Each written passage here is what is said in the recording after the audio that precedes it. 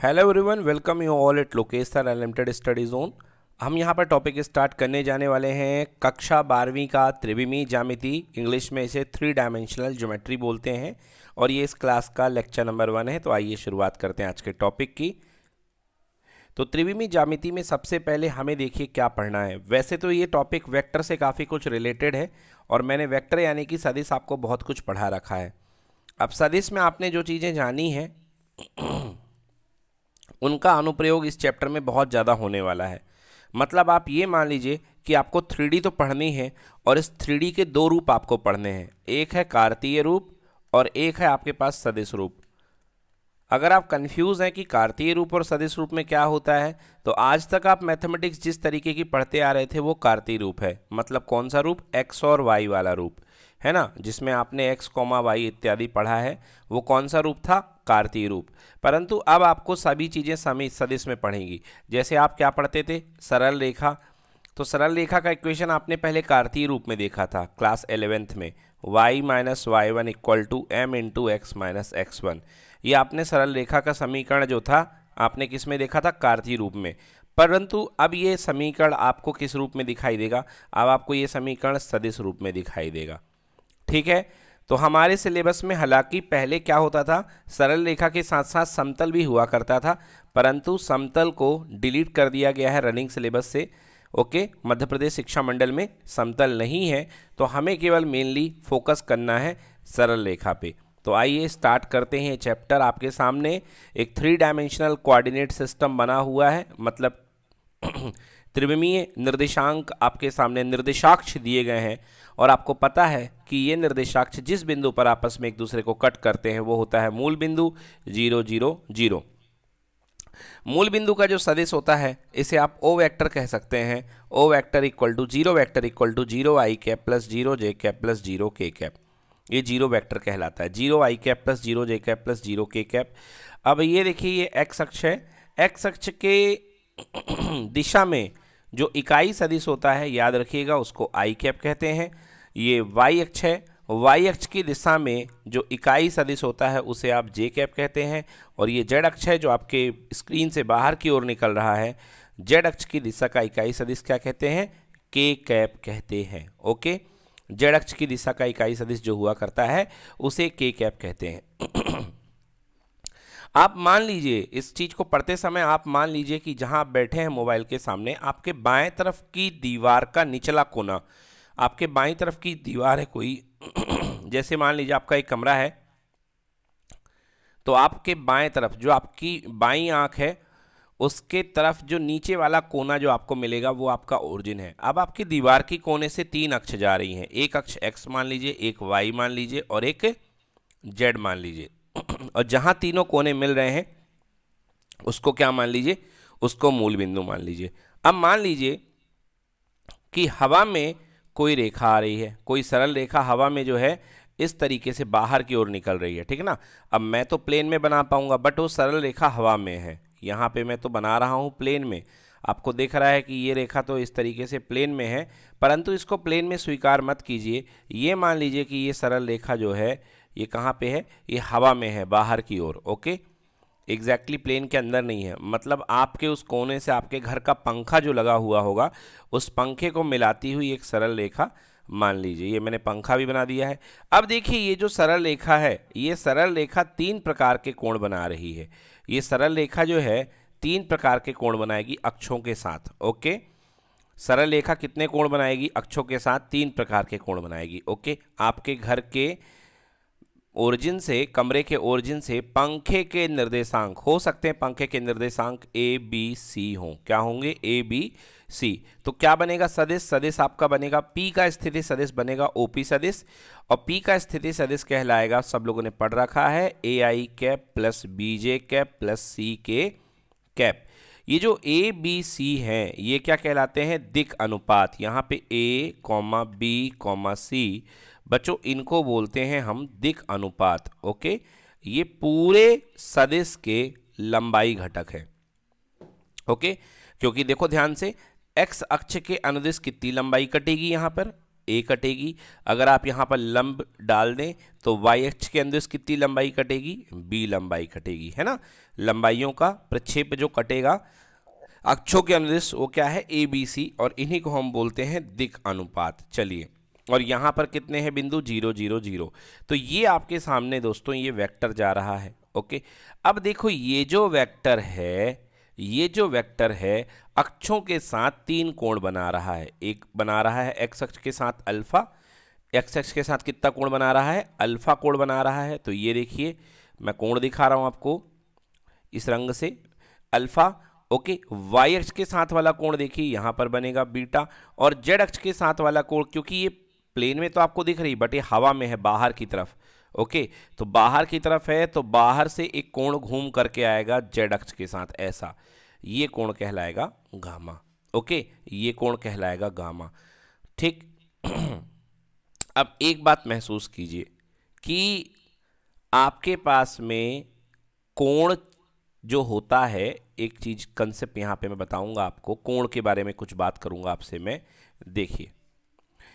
चाहे कोण आप इस बिंदु से निकालो, चाहे कोण आप इस बिंदु से निकालो, सरल रेखा का कोण कभी बदलता नहीं है। जैसे आपने पढ़ा भी होगा नाइन्थ क्लास में, एक सरल रेखा आकर के दो पैरेलल को काट रही है तो जितना कोण यहाँ पर बनेगा, उतना कोण यहाँ पर बनेगा। तो आप रेखा के किसी भी भाग से कोण निकालेंगे, हमेशा कोण समान रहेगा। तो हमें क्या निकालना है? ये अल्फ़ा निकालना है। क्या निकालना है? अल्फ़ा निकालना है।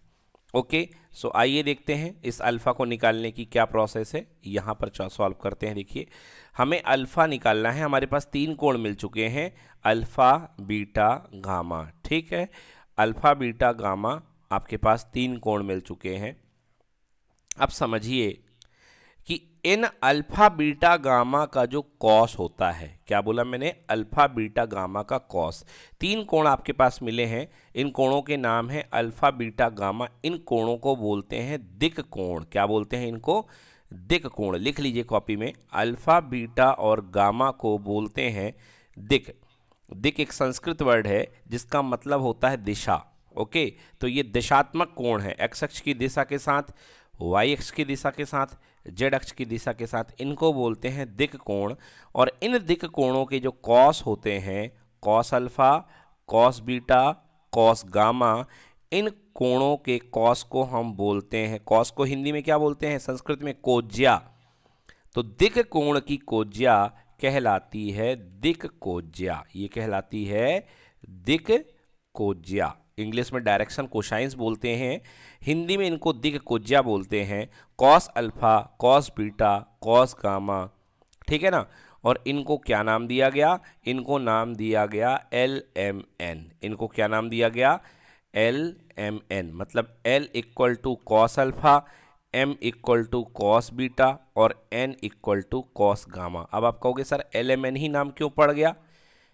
एलेमेन तो हमने पढ़े थे, वो इकाई सदिश के कोने हुआ करते थे। कुछ दिन पहले आपने वेक्टर पढ़ाया था तो आपने बताया था कि जो इकाई सदिश के कोने होते हैं, उनको हम एलेमेन बोलते हैं। आइए याद दिलाता हूँ। ये देखिए, आपके पास में ये थ्री डायमेंशनल कोऑर्डिनेट सिस्टम है। त्रिविम, है ना? कोऑर्डिनेट को निर्देशाक्ष तंत्र बोलते हैं। तो थ्री डायमेंशनल कोऑर्डिनेट सिस्टम या थ्री सिस्टम बोलेंगे तो ज़्यादा अच्छा लगेगा हम लोग को। तो ये देखिए आपके पास में ये कोई कंप्लीट वेक्टर है ओ पी वैक्टर ओके आपको पता है कि जो ओ पी वैक्टर जो होता है कंप्लीट वैक्टर जिसके कोने ए बी सी होते हैं तो a b c equal to a i cap plus b j cap plus c k cap okay और इसका आपने यूनिट वेक्टर निकाला था ओ पी कैप तो कितना आया था? देखिए, इसका यूनिट वेक्टर दिए गया, सदिश अपॉन उसका परिमाण तो a i cap plus b j cap plus c k cap upon उसका परिमाण कितना था? Under root a square plus b square plus c square जिसको आपने लिखा था O P cap equals to a upon under root a square plus b square plus c square i cap plus b upon वही पुरानी कहानी j cap plus c upon वही पुरानी कहानी और के कैप, जिसको हम शॉर्ट में लिखते थे O P cap equal to l i cap plus m j cap plus n k cap. अब आपको पता है कि वेक्टर पूरा चाहे इसके साथ अल्फ़ा कोण बनाए, चाहे इतना हिस्सा अल्फ़ा कोण बनाए, बात तो बराबर है। ओके? इतना कोण क्या है? ये है O P cap, unit vector. Okay?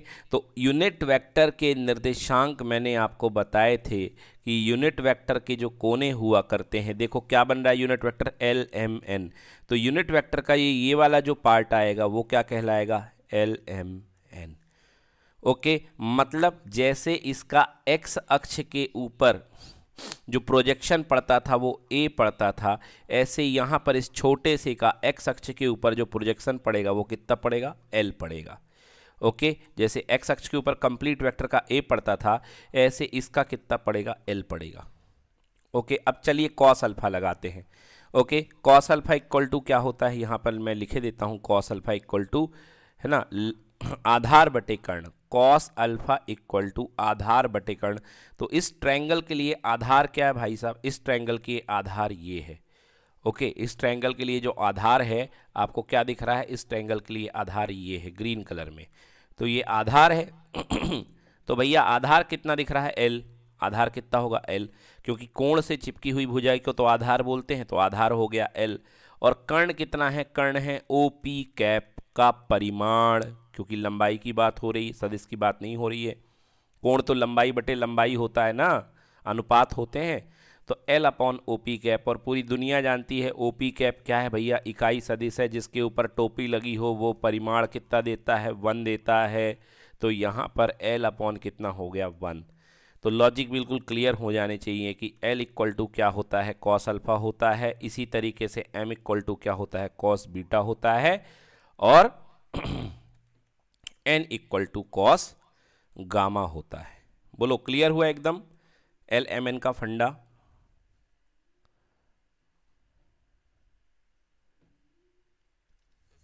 Okay तो ये l m n, l equal to cos alpha, m equal to cos beta, n equal to cos gamma हुआ करता है, ठीक है ना? और यदि आप देखेंगे यहाँ से ओ पी कैप का परिमाण कितना निकलेगा? भाई ओ पी कैप क्या है? इकाई सदिश है। और आपको सबको पता है कि इकाई सदिश का परिमाण ओ पी कैप का परिमाण कितना होता है? वन होता है। और one equal to under root l square plus m square plus n square. अगले पेज में लिखता हूँ। हाँ भाई, कहाँ पर था मैं? तो मैं था ओपी कैप के बारे में, ओके? ओपी कैप के परिमाण के बारे में मैं आपसे बात कर रहा था कि भाई ओपी कैप का जो परिमाण होता है दैट इज़ इक्वल्स टू क्या होगा? वन होगा क्योंकि ओपी कैप क्या है? इकाई सदिश है। इकाई सदिश का परिमाण हमेशा वन होता है और ये है l i cap plus m j cap plus n k cap equal to कितना होगा? वन इसका परिमाण वन होगा। ओके, परिमाण। चलिए इसको हल कर दीजिए तो ये हो जाएगा l square plus m square plus n square equal to one. दोनों तो पक्षों का वर्ग कर दीजिए तो l square plus m square plus n square equals to one. Okay? और इसके बाद l square plus m square plus n square के बाद आप जो है एल की वैल्यू पुट कर दीजिए। तो एल क्या है? कॉस अल्फ़ा है। अभी अभी मैंने पढ़ाया कि जो एल होता है वो कॉस अल्फ़ा के बराबर होता है। एम जो होता है वो कॉस बीटा और n equal to cos gamma तो यदि यहाँ पे रखेंगे एल स्क्वायर तो ये बन जाएगा cos square alpha plus cos square beta plus cos square gamma equals to one very important derivation इसे छोटे छोटे क्वेश्चंस बना कर से हैं। So mark it very very important okay काफ़ी डिटेल में मैंने बताया। इसलिए बताया क्योंकि आपके कंसेप्ट डेवलप हो जाएँ। अगर मैं एक लाइन में कह देता कि बच्चों, ये दो चीज़ें याद कर लो कि l square plus m square plus n square equal to one होता है। L equal to cos alpha m equal to cos beta n equal to cos beta तो cos square alpha cos square beta cos square gamma भी one होता है। ये भी लिख देता। तो इससे भी आपके सवाल तो हो जाते। बट यूनिट वैक्टर और कंप्लीट वैक्टर यानी कि दिक कोज्या और दिक अनुपात की अवधारणा अगर आपको क्लियर हो गई, इसके कंसेप्ट अगर आपको क्लियर हो गए तो थ्री को आप फिर मतलब आराम से हैंडल कर लोगे, फिर थ्री कुछ परेशान नहीं कर पाएगी आपको। तो यहाँ तक आई थिंक आपको क्लियर हो गया होगा। यदि इनमें कोई डाउट है कहीं पर तो बताइए प्लीज़ कौन सा पार्ट अपन एक्सप्लेन करें, एक बार बताइए। चलिए, देखिए, आपने सवाल पूछा है कि भाई, आधार बटे कर्ण, आप ये बताइए क्या लेना चाहते हैं? आधार बटे कर्ण आपको लेना है तो ओ, भाई जो कॉस थीटा होता है कॉस थीटा का मतलब होता है आधार बटे कर्ण और आधार और कर्ण के रूप में क्या लेते हैं? सदिश लेते हैं कि लंबाइयाँ लेते हैं? तो बस लंबाई ही लेंगे ना हम। हाँ। हाँ आधार एल ठीक है, फिर? नहीं, कर्ण ये देखिए ना ट्रायंगल बन तो रहा है, यही तो हुआ ना। ये समकोण त्रिभुज आपको दिख रहा है। इस समकोण त्रिभुज में देखिए ना, ये जो समकोण त्रिभुज है आपके सामने, उस समकोण त्रिभुज को देखिए। ये देखिए समकोण त्रिभुज। देखिए व्हाइट कलर से मैं ड्रॉ कर रहा हूँ। ये समकोण त्रिभुज जो है, अब बताइए समकोण त्रिभुज में क्या समझना है? इसमें आधार और कर्ण क्या है?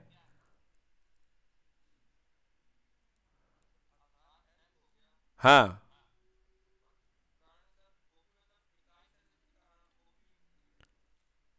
नहीं ओपी ओपी कैप लिखा ना मैंने। आप क्या चाहते हो, क्या लिखा जाए? लंबाई को तो ओपी कैप ही लिखेंगे ना। बताइए। भाई, आपको एक ट्रायंगल दिया गया है। ये ट्रायंगल आपके सामने है। चलिए, इतना सा ट्रायंगल आपके सामने है। और आपको बताना है कि इस ट्रायंगल में आपको कॉस अल्फ़ा निकालना है। तो कॉस अल्फ़ा आप क्या लिखते हैं, बताइए। आधार कितना है? एल कर्ण कितना है? अच्छा ओपी कैप ये देखिए, ये आदेश है और ये सदेश है। भैया, ये लंबाई है कि सदेश है? हाँ और कोण निकालने के लिए क्या है कि चाहनी पड़ती है? लंबाई की सदिश।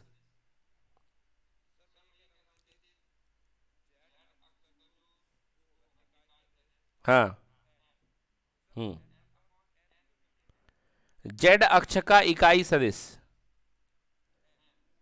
अच्छा जेड अक्ष का इकाई सदिश अगर आप क्यों लेंगे? जेड अक्ष के साथ तो कोण गामा बनेगा ना? भाई, अल्फ़ा कोण तो एक्स अक्ष के साथ बनता है, बीटा कोण बनता वाई अक्ष के साथ और गामा बनता है जेड अक्ष के साथ। बताइए। एक्स अक्ष के साथ अल्फ़ा कोण बनता है तो अल्फ़ा निकालने में आपकी मदद कौन करेगा? जेड क्यों करेगा? जेड से तो आप गामा निकाल पाओगे ना? ये देखो, यहाँ गामा बनेगा। अभी क्लियर हुआ? हाँ। तो l equal to cos alpha m equal to cos beta and z equal to cos gamma ठीक है ना? यहाँ एल एम एन बोलो डन एकदम क्लियर है? चलिए तो ये हो गई बच्चों दिक अनुपात और दिक कोज्या वाली बात। ठीक है ना? मैंने जिस लेवल में आपको दिक, कोज्या, दिक अनुपात बता दिए हैं, अब आपको बिल्कुल भी परेशानी नहीं जाएगी। एकदम बढ़िया से आपको कंसेप्ट पूरा क्लियर हो चुका है। आगे बढ़ते हैं। अब दिक्कोज्या और दिक अनुपात के बाद में आता है खंड सूत्र ठीक है? तो खंड सूत्र की बात करते हैं कि भाई ये खंड सूत्र क्या होता है? तो बहुत ही आसान चीज़ है, कुछ भी नहीं है इसमें खंड सूत्र में नया। ये देखिए, मान लीजिए आपके पास में कोई बिंदु है ए और ओरिजिन के रिस्पेक्ट में इस बिंदु का स्थिति सदिश क्या दिया जाएगा? ओ ए वेक्टर जिसको आप स्मॉल ए भी लिखते हैं ओके तो बिंदु के रूप में बिंदु ए है बट सदिश के रूप में ये आपको क्या दिखाई देगा? सदिश ए तो जिस बिंदु को पहले आप x1, y1, z1 के रूप में स्वीकार करते थे अब तैयार हो जाइए उसका सदिश आपको स्वीकार करना पड़ेगा। X1 i cap plus y one j cap x one i cap plus y one j cap plus z one k cap के रूप में आपको ये स्वीकार करना पड़ेगा। क्या? इसका सदिश। दूसरा सदिश आपके पास में ये बिंदु बी है। इसका वेक्टर कितना है? B b vector. तो यहाँ पर देखिए ओ बी सदिश है। तो मान लीजिए बी पॉइंट आपके पास में क्या था? बी पॉइंट आपके पास में था x two i cap plus y two j cap मतलब पॉइंट था x two y two z two point क्या था? एक्स टू वाई टू और जेड टू तो जो वेक्टर बनेगा, वो बनेगा x two i cap plus y two j cap plus z two k cap ये सदिश बन गया वेक्टर बन गया। दो वेक्टर बन चुके हैं। आपके पास कोई विभाजक बिंदु P है और P का वेक्टर आपको फाइंड करना है, जो कि m अनुपाते n में ब्रेक कर रहा है इस वेक्टर ए बी को। ए ए और बी को मिलाने वाली रेखा को, जो आपका सदेश है विभाजित कर रहा है, किस अनुपात में? एम अनुपात एन में। तो पी के निर्देशांक बहुत ही सिंपल हैं ओ पी सदिश, क्योंकि ये क्या बैठा है? ओ तो पी का स्थिति सदिश कह लो या ओ पी सदिश कह लो equal to m into vector b m times of vector b plus n times of vector a upon m plus n अगर अंत विभाजन है तो आप प्लस साइन का इस्तेमाल करें, ऊपर और नीचे। और अगर बाह्य विभाजन है तो आप किसका इस्तेमाल करेंगे? माइनस साइन का। तो प्रश्न में दिया रहेगा कि अंत विभाजित कर रहा है बिंदु या बाह्य विभाजित कर रहा है, उसके हिसाब से आपको OP vector equals to m vector b plus n vector upon m plus n और m vector b minus n vector upon m minus n स्वादानुसार इस्तेमाल करें। बोलिए क्लियर है कंसेप्ट सारे? चलिए, इसके क्वेश्चन आपने शायद तक वेक्टर में कर भी लिए होंगे तो आपको बड़े आराम से बन जाएगा। अच्छा देखिए, अगर आपकी बात करते हैं यहाँ पर, यदि हम मिड पॉइंट की बात कर लें, ओके मध्य बिंदु तो आपको पता है कि मध्य बिंदु में एम और एन बराबर होते हैं तो एम बराबर एन कर देंगे तो मध्य बिंदु के निर्देशांक आ जाएँगे, और जब एम बराबर एन कर देंगे तो एम तो एम है एन भी एम है तो ये क्या बन जाएगा? मिड पॉइंट बन जाएगा ओ एम सदिश equal to m vector b plus m vector a क्योंकि जब दोनों बराबर हैं, दोनों को एम ले लो। अपॉन एम प्लस एम कितना हो गया? टू एम हो गया। ऊपर से एम कॉमन ले लो तो कितना बन गया? Vector b plus a upon two m m से एम कैंसिल हो गया। आंसर कितना आया? बी सदिश प्लस ए सदिश अपॉन में two. This is your answer done okay next question की तरफ़ चलते हैं। अगला सवाल। हाँ जी। यस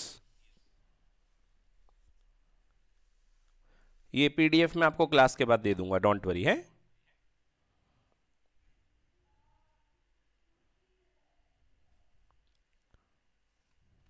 चलिए, अब अगले कंसेप्ट पर चलते हैं। अगला कंसेप्ट है बच्चों equation of line in three D equation of line किसमें? थ्री में। देखिए, एक लाइन को व्यक्त करने के लिए दो चीज़ों की ज़रूरत होती कोई भी दो जानकारी। या तो दो बिंदु, या एक बिंदु, एक दिशा है ना? तो सबसे पहले ये जान लो कि सदिश में एक होता है दिशात्मक सदिश।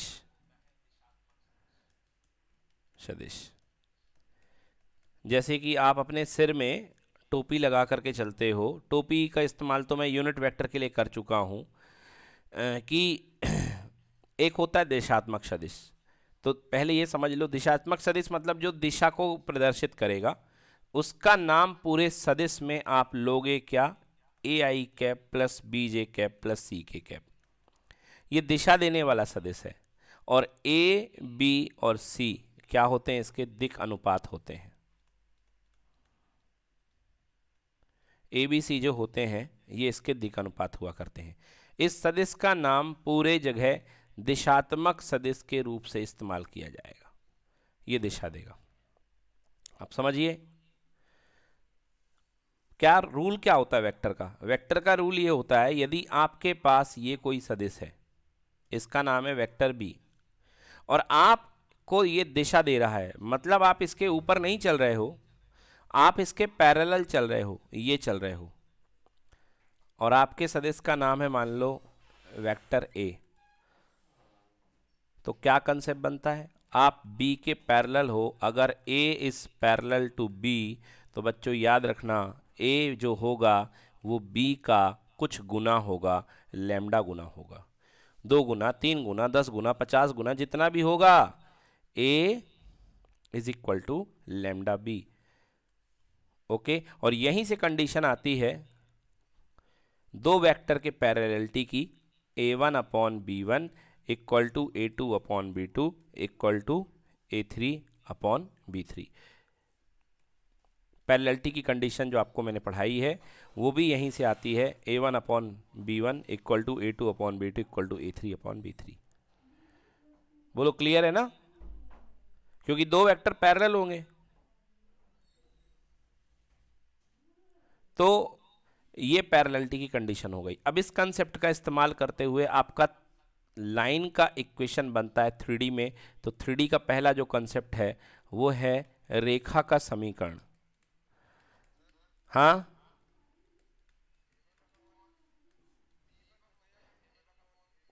देखो देखो भाई साहब, अभी यहाँ पर आपने जो रेखा मानी है, पूरा ए और बी के टर्म्स में है, उसको तो आपकी अंडरस्टैंडिंग काम करेगी। यहाँ पर मेरे जो ए वेक्टर के मैंने माना है, क्योंकि दो सदिश माना है तो क्या माना होगा? A one i cap plus a two j cap plus a three k cap ये मैंने माना है। और इसको माना होगा b one i cap plus b two j cap plus b three k cap इसलिए अगर आपको यदि इसमें अच्छा नहीं लगता है, अगर आप असहज हैं इसमें तो एक काम करिए, ये सदिश ए है।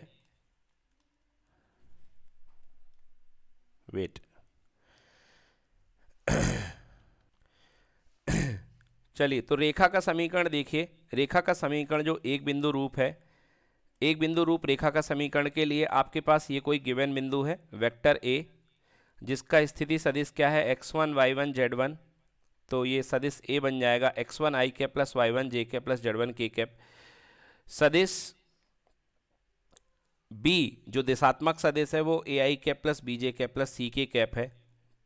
तो इसके समानांतर सदिश कितना होगा? लेमडा बी और बिंदु पी जो अननोन अननोन बिंदु है, उसका स्थिति सदिश कितना है? आर मान लीजिए। तो लगाइए त्रिभुज का नियम। तो त्रिभुज का नियम कहता है दो लगातार बराबर एक अलग से। सो वेक्टर आर अलग से है vector r equal to a plus lambda vector b तो अगर आपको केवल ये समीकरण याद है, बाकी कुछ भी समझ में नहीं आया है तो भी आपका काम चल जाएगा। तो क्या होता है रेखा का सदिश समीकरण?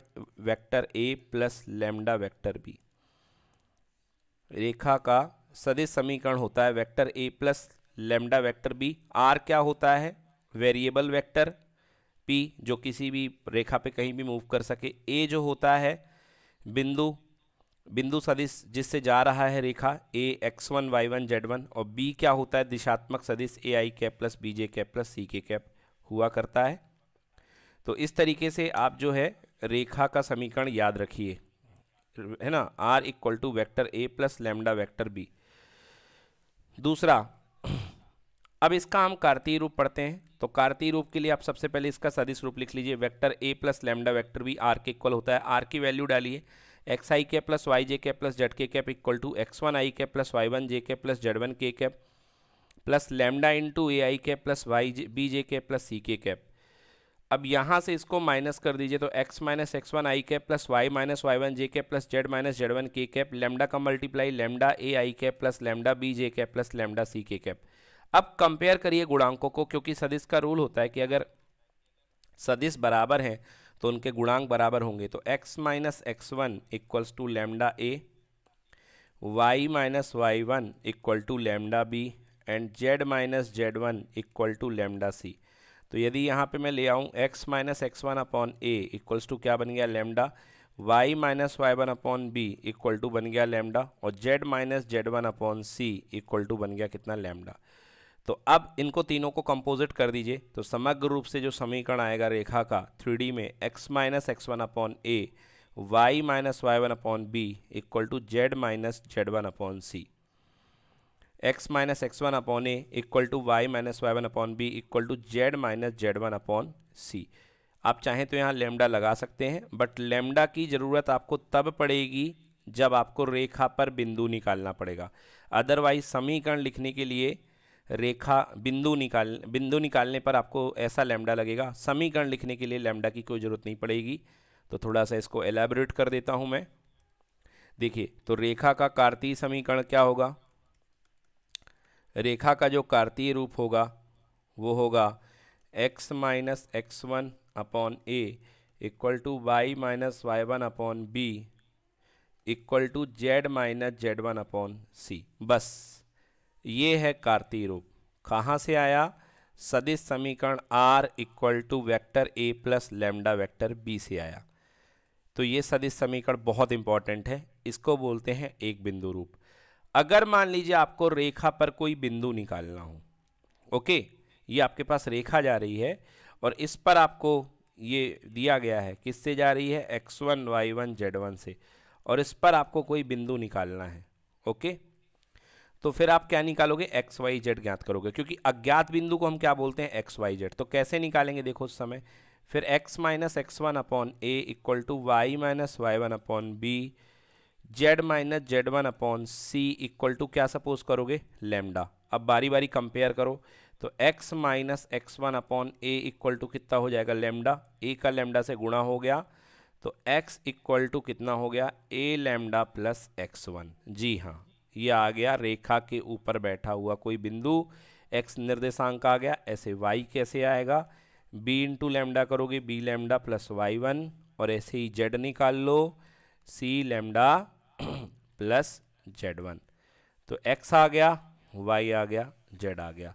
ठीक है ना? तो अगर क्वेश्चन बहुत हायर लेवल का आएगा तो फिर बिंदु निकालने को आएगा, नहीं तो आपको तो समीकरण ही निकालने को आता है। बोलो डन क्लियर एकदम बढ़िया से।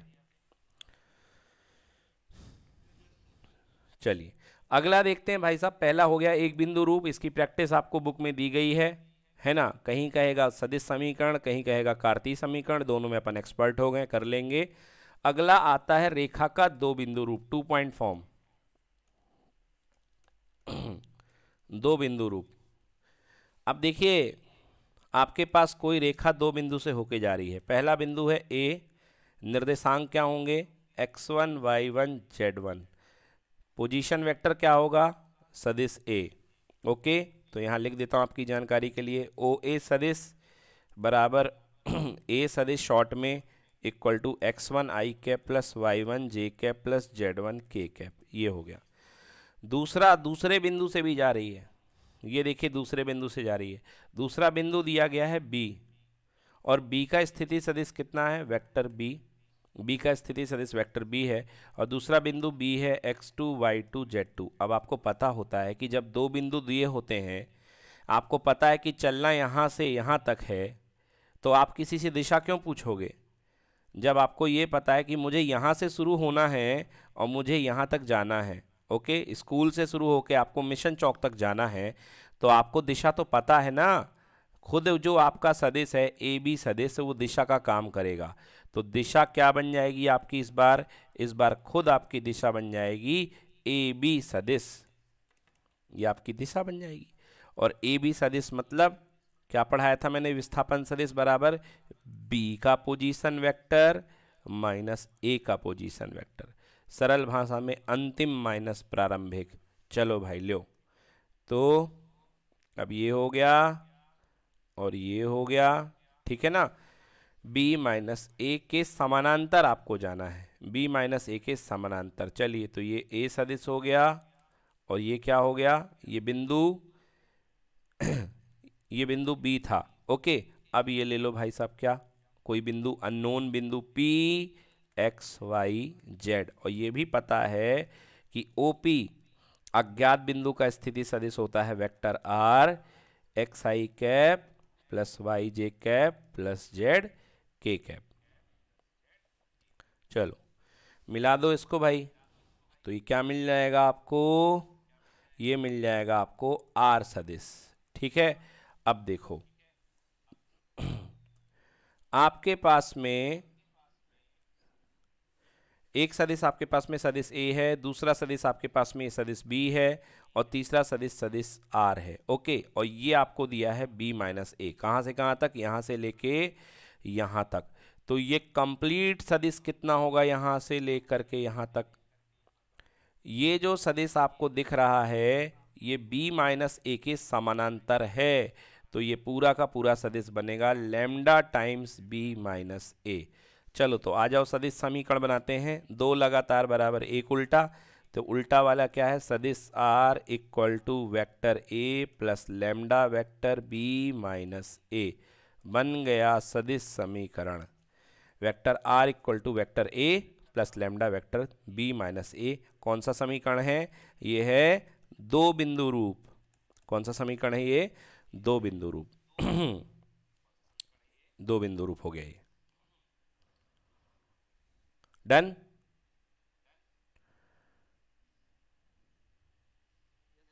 ओके। अब इसका हाँ कुछ पूछ रहे हो भाई?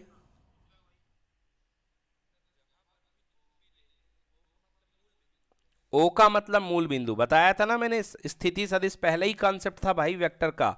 वेक्टर का पहला कॉन्सेप्ट मैंने इस बार हिंदी में स्थिति सदिश पढ़ाया है कि आप ब्रह्मांड में कहीं भी हों, अपनी पोजीशन को आप मूल बिंदु के रूप में व्यक्त करेंगे तो ओ तो फिक्स है। अब इसके बाद ये बन गया ओ से लेके पी। इन शॉर्ट इसका नाम दे दिया जाता है आर क्योंकि सदिश में जो अज्ञात बिंदु पी एक्स वाई जेड होता है उसको हमने नॉमिनेट कर लिया है कि भैया तुम ओपी हो, तुम्हारा शॉर्ट का नाम आर है और तुम्हारा वेक्टर है position vector x i cap plus y j cap plus z k cap समझ में आया? बोलो क्लियर है?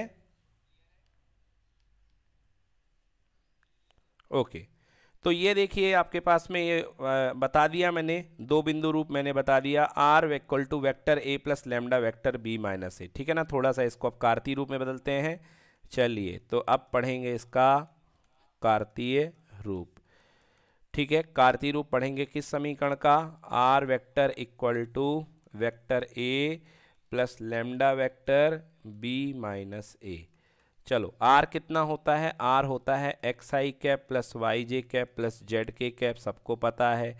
ए कितना होता है? ए होता है x one i cap plus y one j cap plus z one k cap पहला बिंदु प्लस लेमडा तो लेमडा ही है। बी मतलब दूसरा बिंदु ए मतलब पहला बिंदु तो माइनस करोगे तो आएगा x two minus x one i cap plus y two minus y one j cap plus z two minus z one k cap बोलो डन ये आ गया। अब इसको इधर ले जाओ। तो ये क्या बन जाएगा? X minus x one i cap plus y minus y one j cap plus z minus z one k cap equal to lambda x two minus x one i cap plus y two minus y one j cap plus z two minus z one k cap. तुलना कर दीजिए संगत part की।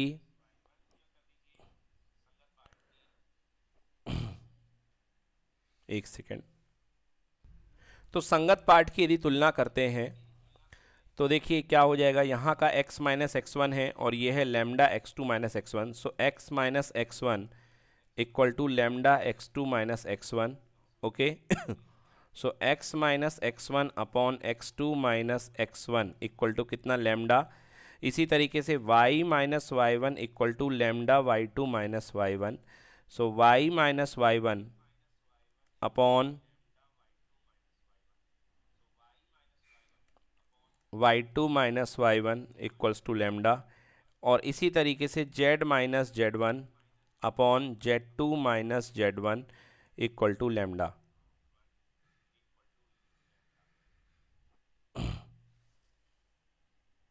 तीनों को अब आप मिला दीजिए, जैसे कि हमने पहले भी मिलाया है। तो यदि तीनों को आप मिला देते हैं तो आपके पास एक समग्र रूप से एक नया समीकरण प्राप्त हो जाएगा। क्या समीकरण होगा वो? X minus x one upon x two minus x one equals to y minus y one upon y two minus y one equals to z minus z one upon z two minus z one equals to lambda और एक बात आप feel करिए, देखिए क्या हो रहा है। ये समीकरण हमारा फाइनली आ चुका है। ये बहुत इंपॉर्टेंट है। कार्ती रूप में आएगा तो आप इसको लगाइए और वेक्टर रूप में आएगा तो वेक्टर ए क्या पढ़ा अपन ने? Vector r equal to vector a plus lambda vector b minus vector a ये तो दोनों चीज़ें आपने देखी ली, बहुत इंपॉर्टेंट है। मैं क्या कह रहा था? एक बिंदु रूप आपने क्या पढ़ा था? एक बिंदु रूप आपने पढ़ा था x minus x one upon a y minus y one upon b और z minus z one upon c आपको पता है ए बी सी क्या होते हैं? ए बी सी होते हैं दिक अनुपात। और मैंने आपको दिक अनुपात पढ़ा रखा है। ए बी सी दिक अनुपात होते हैं। और दिग अनुपात मैंने आपको बताया था कि ए का मान कितना होता है? X two minus x one B का मान होता है Y two minus Y one और सी का मान होता है Z two minus Z one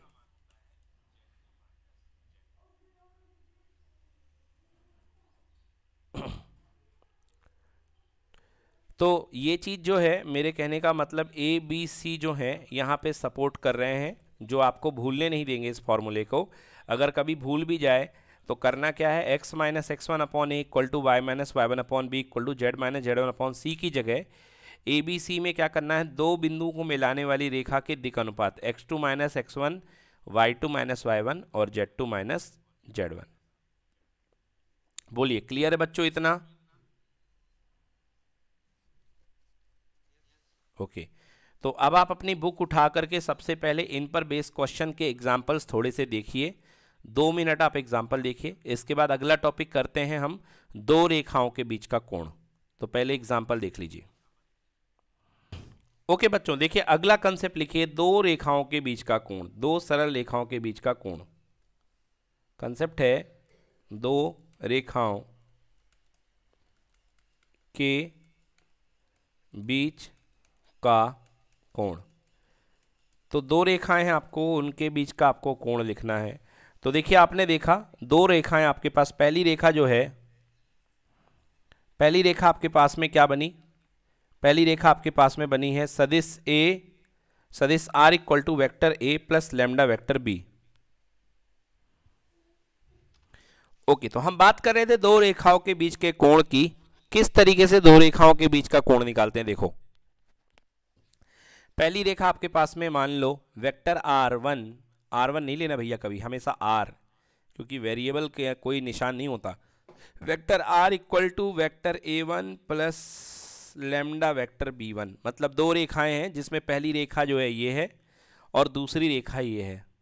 Vector r equals to a two plus lambda vector b two तो दोनों के बीच का आपको कोण निकालना है। अब देखो, ये पहली रेखा है, इसका जो दिशात्मक सदिश जा रहा है सपोज़ ये जा रहा है इसका दिशात्मक सदिश। और दूसरी रेखा ये है, जिसका दिशात्मक सदिश ये जा रहा है। ये देखो। अब आपको पता है कि भाई दोनों दिशात्मक सदिश मुख्य रेखा के पैरेलल होंगे, क्योंकि अपने अपना दिशा अपनी अपनी पैरेलल होती है। जहाँ हम चलते हैं, वहीं तो हमारी टोपी चलती है ना? हाँ तो टोपी हमारी दिशा होती है एक तरीके से। तो भैया, जो रेखाओं के बीच का कोण बनेगा, वही तो इन दिशाओं के बीच का कोण बनेगा। और पहले की दिशा कितनी है? बी वन सदिश। और दूसरे की दिशा कितनी है? बी टू सदिश। और आपको पता है डॉट प्रोडक्ट में कि दो सदिश के बीच का कोण होता है cos theta is equal to a dot b upon mod a mod b तो यहाँ पर सदिश कौन है? बी वन बी टू तो cos theta equal to b one सदिश डॉट बी टू सदिश। Upon mod b one mod b two लिख लो फॉर्मूला ये हो गया दो सदिशों के बीच का कोण भी है और दो रेखाओं के बीच का कोण भी है। नोट कर लीजिए, दो रेखाओं के बीच का कोण उनके दिशात्मक सदिशों के बीच के कोण के बराबर होता है। And this is equals to b one dot b two upon mod b one mod b two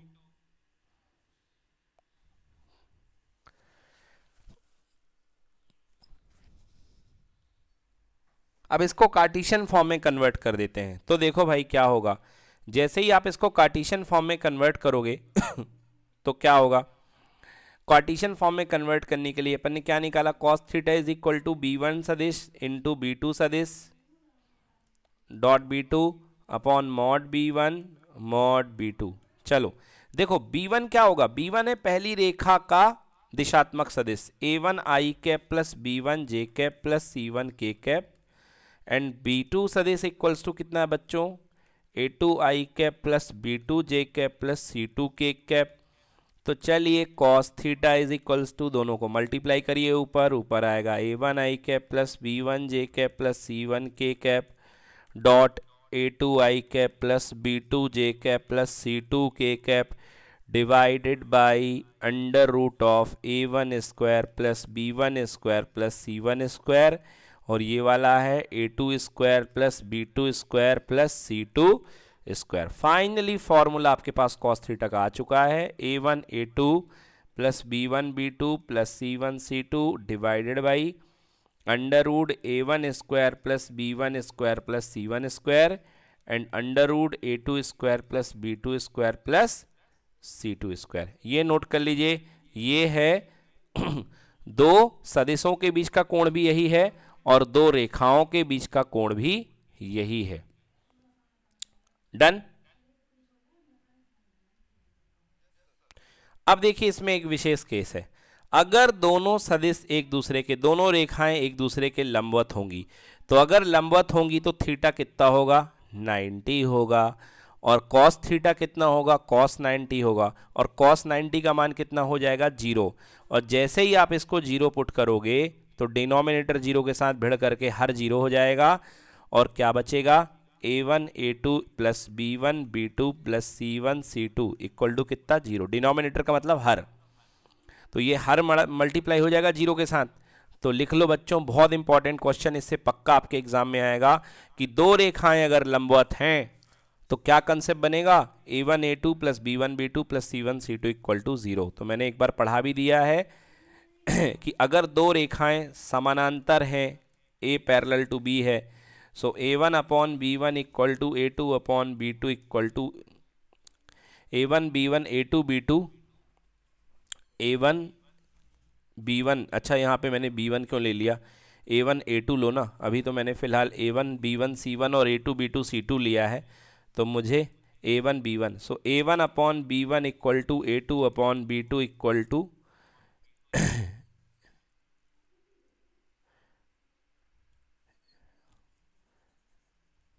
क्या कर रहा हूँ भाई? वेक्टर क्या लिया मैंने? A one B one C one A two B two C two A one upon A two B one upon B two C one upon C two okay A one upon A two equal to B one upon B two equal to C one upon C two ये हो गई कौन सी?